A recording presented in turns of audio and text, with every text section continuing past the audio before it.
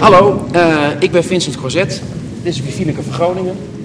Cas Jansen, Mirjana Verreden en Kim Pieters. En wij spelen in de voorstelling Terug naar de Kust. Uh, tien jaar geleden werd het boek door Saskia Noord geschreven, Terug naar de Kust, een psychologische thriller. 2013 spelen wij deze voorstelling door heel Nederland. Hij is geregisseerd door Mette Bouwhuis. We komen in elk hoekje en gaatje. We komen ongetwijfeld ook bij u in de buurt of in het theater in uw stad. En we hopen dat u ook komt kijken naar deze voorstelling. Komt kijken. Zeg ik het niet goed? Komt kijken? Ja, ja komt kijken. Spelling, oh, spellingsmatig klopt dat, gelukkig.